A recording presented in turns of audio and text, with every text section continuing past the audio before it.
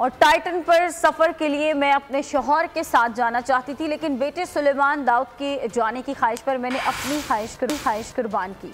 Titanic देखने के लिए आबदोज में जाने वाले बदकिस्मत शहजाद दाऊद की अहलिया क्रिस्टिन दाऊद का इंटरव्यू कहा कि, आज मैं दोनों की कमी बहुत महसूस कर रही हूँ।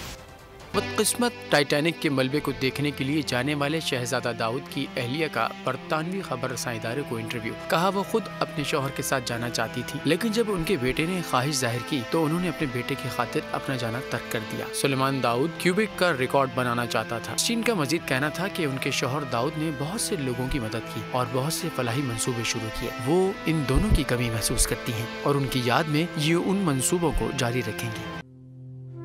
तू की जाने यार अमीरा रोटी बंदा खा जाती है। यूनान में कश्ती उलटने का अलमनाक हादसा। उदास आँखें चेहरों पर मायूसी दिलों में अब भी प्यारों के बच जाने की आस। मेरी दरखास्त है वज़ीर आज़म अगे जल्दी तो जल्दी मेरे बच्चे की तलाश की जाए। गम की इस घड़ी में बोल रहा अपनों के साथ सहाफती फराइज को निभाते हुए पहुंचाई हर खबर अवाम तक। और यूनान में महाजरीन के जहाज़ को हादसे के बाद अब रेस्क्यू ऑपरेशन खत्म हो चुका है।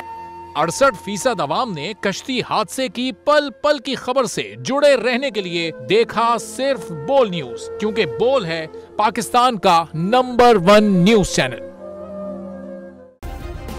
Subscribe करें और बेल दबाएँ ताकि कोई खबर रह न जाए।